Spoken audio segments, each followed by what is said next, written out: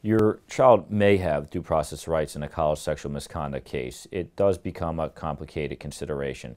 At a public institution, a public college or university, that is, uh, student does have due process rights under the state and federal constitution.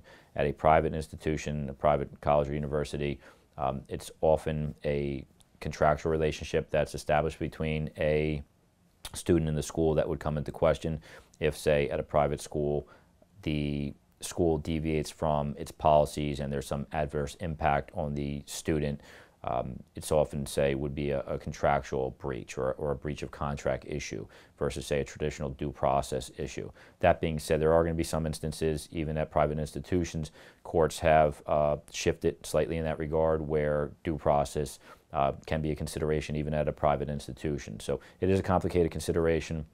Overall, it may be the case that your student would have a due process right at a college or, or university. An experienced attorney advisor can help best uh, explain given the particular circumstances at hand and can also help best protect a uh, student's interest through the process. It's best to speak to an experienced attorney advisor uh, in a given case so that those questions can be, can be best answered.